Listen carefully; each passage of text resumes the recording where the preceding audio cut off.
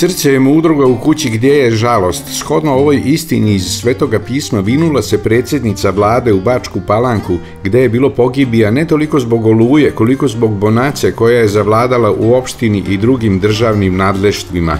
Koliko znam, nije otišla na adresu gdje je žalost. Susrela se radije sa gradskim i opštinskim velikanima. To je sigurno bilo obostrano srdačno, ta sve ih veže pripadnost istoj umalo nerekog crkvi, partiji, ali se mudrice ne znadijaše ponašati kako Bog miluje, nego i stanovnike palanke koji danima protestuju hladnokrvno upitala. Što vi nama zapravo spočitavate? Možda je i u pravu, nevreme je pokidalo kablove, u kablovima je bilo struje i desilo se to što se desilo.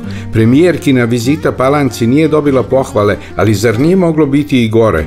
Kako nas je prosvetlila povodom nesrećnog pada helikoptera. Beba ne bi preživela da helikopter nije doleteo po nju, a nije ni ovako preživela. Tako je mogla reći. Mi smo ceo sistem snabdevanja strujom nasledili od prethodnog režima. Nismo mi, nije Aleksandar Vučić uveo napon od 220 volti. Da je prethodna vlast po uzoru na naprednije zemlje uvela struju od 110 volti, danas bi u vašem simpatičnom gradiću bilo duplo manje nastradalih, pa ja ne bih možda ni doputovala. Nie zniszczę čuvši šta se sve desilo građanki koja je o porodičnom nasilju govorila na protestu, žovijelan kak i vsegda, upitao da nije možda on kriv što se neko udao ili što se nesrećno udao. Pa nisi bio provodađija, ali ovakvim pošalicama zar nam ne pokazuješ hiljaditi put da ti do običnih ljudi, a koji se nisu učlanili u tvoju partiju, nije ni malo stalo. Na Vulina, koga je jedna prilična sila prilično teško optužila, primenio je besmrtni obrazac Nedan Batu. Neće dati ni aciku. Slutim da će Vulin postati ikona srpstva i Srbije, na pravdi Boga naruženih na pasja, ako se tako može reći kola. Možda aktivisti nabavljaju sprej kojim će, pored kad se vojska na Kosovo vrati, biti živopisan šef tajne službe i slogan što je više kleveta i laži, Vulin nam je sve draži i draži.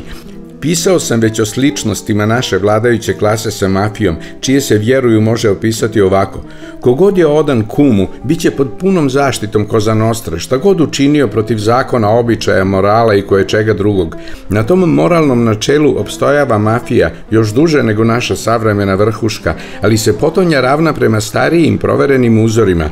Ako je neko pouzdano naš, atestirani član, pripadnik bratstva, neće nikada i nipošto biti pušten niz vodu, šta god god da je uradio onima koji nisu naši. To je isto načelo koje smo svetosavski primjenjivali na ratne zločince. Nije važno je li general prekardašio u borbi za srpstvo.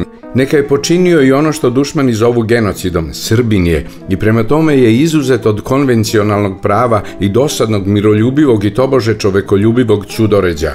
Sam Vulin, koji ne može u Sjedinjene američke države, može u Kanadu, kod ženine tetke, Bog je poživeo, ako se baš uželi severnoameričkog kontinenta. A šta će u majci Srbiji biti sa njim, Bog sveti zna. I vlasnik naš možda zna, a možda se tek sprema da odluči. Zaista, šta će sa bivšim Ljulovcem, negdašnjim borcem za radničku pravicu, osobom koja je oblačenjem uniforme šivene po njenom vlastitom dizajnu i po njezinoj meri, pokazala da je zrelosti što se tiče na nivou provincijalnog adolescenta, zvanog u Vojvodini Dzinzov, ali koja je hvalila gospodara više nego što ima hvale u svim troparima i psalmima zajedno.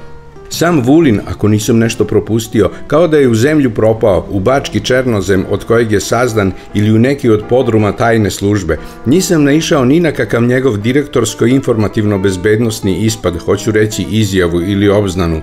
Verujem da, dok tiho je na mestu tajnom kao što je tajan i njegov uzvišeni posao, umuje ovako. Zašto ne bih ja krenuo zaginim stopama? Zar ne bi za sve, na čelu sa mnom, bilo najbolje da mudro ćutim, da se nigde ne pojavljujem, da ništa ne remetim, da ništa pogotovo ne popravljam, znači da se živ ne čujem, a da ostanem direktor dok ne odem u penziju ili dok ne postanem još koji put ministar policije ili odbrane.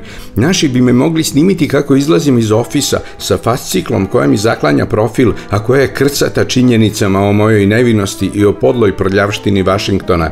Tako bi se videlo da sam živ i da radim bezmalo koliko i predsjednik.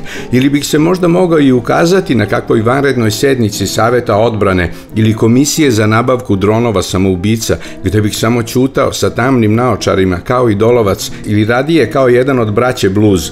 Ali zašto naš gospodar ne zamoli svog pravnog naslednika Vučevića da optuži Vulina za sve ono što potonjem Amerikanci crkli da Bog da stavljaju na dušu, pa da tužilac to prvog sljedećeg radnog dana u celosti i sa iskrenim gnušanjem odbaci? Zašto odustati od mehanizma koji je savršeno funkcionisao kad se advokat Vučević beše okomio na najboljeg studenta pravnog fakulteta?